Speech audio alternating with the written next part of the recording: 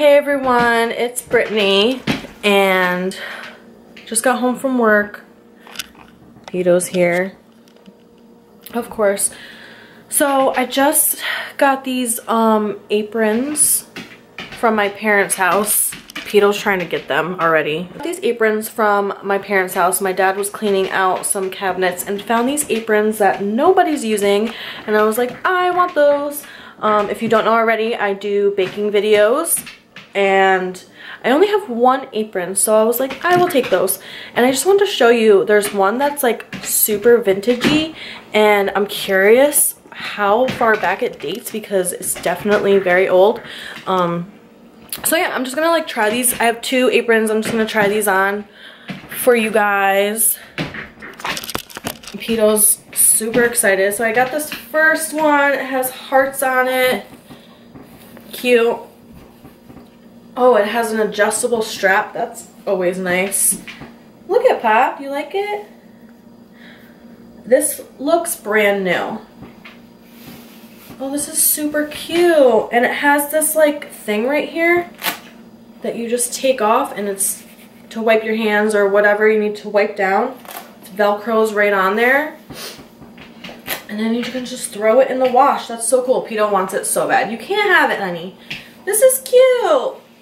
I'm excited to do, I wish I had pockets, but I'm excited to do my baking videos in my new aprons. All right, let's try the next one. This is the vintagey one. Look how old, there's no tag on it. It almost looks like someone handmade this. And how does this go? In the front? Oh, so you put it on like this. You put it on like this? I'm confused. Oh wait, my arm is in the wrong hole. Okay, here we go. Does it fit? Does it go like this? The pocket, oh, you know what? This is really small.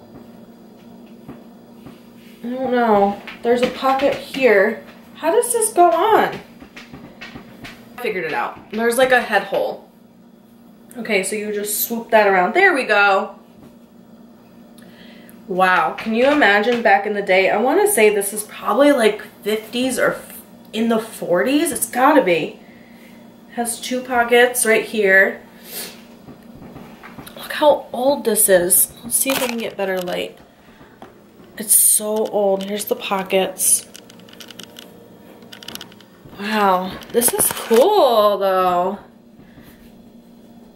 I really like this. This is really neat. It goes all the way down. This is really cool. I like this a lot. I love vintage stuff and I'm pretty sure this is really old. So yeah, these are the aprons that I just got from my parents' house. This is cool. Hi, Pop. So yeah, I just wanted to show you those. I also got um, these little aprons. Um, this one, it's very little, and this like smock kind of material one. Um, my nieces used to wear those when they were little, but now they are grown, so I'm going to use those for my kids in my classroom. And uh, that'll be perfect for art and craft stuff. All right, you guys, so I don't need to cook dinner tonight, so I want to clean the top of my stove. Now, I'm used to having electric stove and oven, um, and this is gas stove and oven, so I just looked up how to clean the gas stove, and it said to use Clean it off with soap and water first and then to put on a thick paste of baking soda and water and let it sit for 20 minutes and then wipe it away and it should be clean. So we're going to test that right now. I'm going to show you my stove and how it's so bad right now. So I, it really needs to get done. So let's, I'm going to show you that right now. Okay, so here's my stove. I got a dirty dish. I'll just put that away.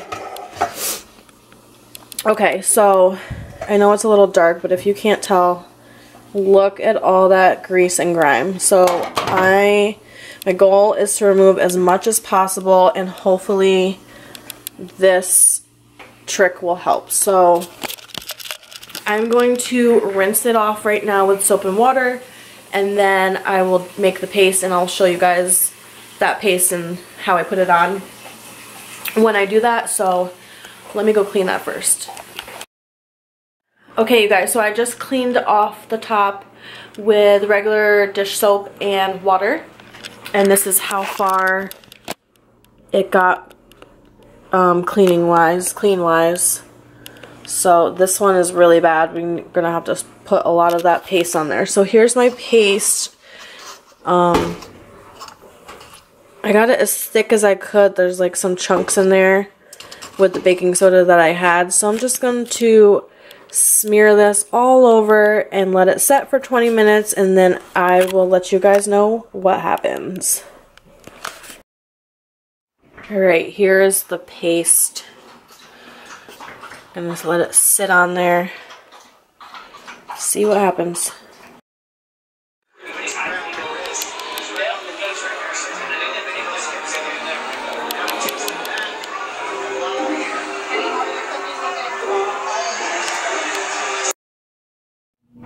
Okay guys, so that's um, as far as I got with the stove. I'd say for me it was kind of a fail because I didn't have like a scrub brush. I think if you had a scrub brush um, or a hard scrubber sponge it would be a lot better but all I had was a sponge with like a light scrub side. It really wasn't that tough so oh well. At least I got some of it cleaned off and I'll just have to get a scrub brush to do the rest but um, that's it for today's video. I know it's very boring, but work week, just go to work, come home, go to sleep.